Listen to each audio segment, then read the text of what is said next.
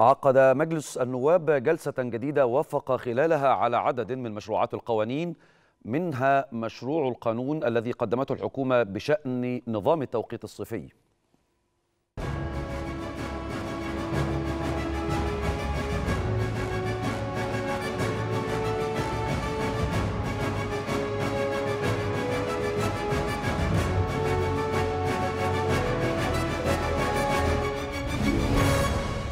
جلسة جديدة لمجلس النواب برئاسة المستشار الدكتور حنفي جبالي ناقش خلالها عددا من الملفات المدرجة على جدول أعماله. بدأت الجلسة بإحالة ثلاثين تقريرا للحكومة لاتخاذ اللازم فيما ورد فيها من توصيات. كما تمت إحالة عدد من مشروعات القوانين المقدمة من الحكومة إلى اللجان النوعية المختصة بالمجلس لدراستها وإعداد تقارير بشأنها. تلا ذلك الموافقة بشكل نهائي على مشروع القانون المقدم من الحكومة في شأن تقرير نظام نظام التوقيت الصيفي من خلال تقديم الساعة بمقدار 60 دقيقة اعتبارا من الجمعة الأخيرة من شهر أبريل وحتى الخميس الأخير من شهر أكتوبر وذلك بهدف ترشيد الطاقة. المتخصصين سواء في الكهرباء أو المتخصصين في الغاز إن أهمية العمل بالتوقيت الصيفي وإنه هيعمل عملية ترشيد في استغلال الطاقة.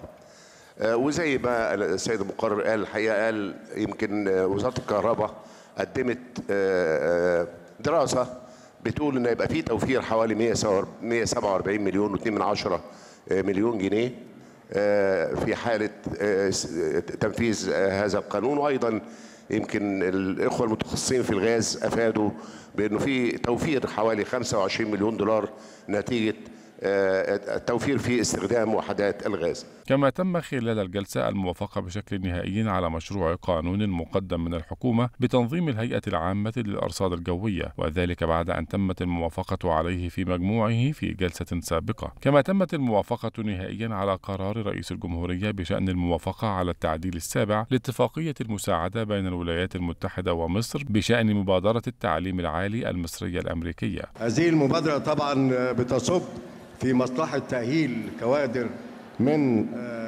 التعليم العالي فيما يخص سوق العمل وخاصة في المجالات التي تساعد على نمو الاقتصاد القومي ومن خلال توفير المنح الدراسية لهؤلاء الطلبة لتأهيلهم التأهيل اللي بيواكب سوق العمل. كما تمت الموافقة على عدد من مشروعات القوانين للترخيص لوزير البترول للتعاقد مع عدد من الشركات العاملة في مجال البترول للبحث والتنقيب عن الغاز الطبيعي والزيت الخام والبترول ومشتقاته بعدد من المناطق بالبحر المتوسط والصحراء الغربية. كذلك وافق المجلس على قرار رئيس الجمهورية بشأن الموافقة على تعديل كيجالي لبروتوكول مونتريال بشأن المواد المستنفذة لطبقة الأوزون. وهكذا يواصل مجلس النواب مناقشة مشاريع القوانين الهامة التي تسهل تقديم الخدمات للمواطنين وتوفر التشريعات التي تيسر من أداء عمل الحكومة للقيام بواجباتها.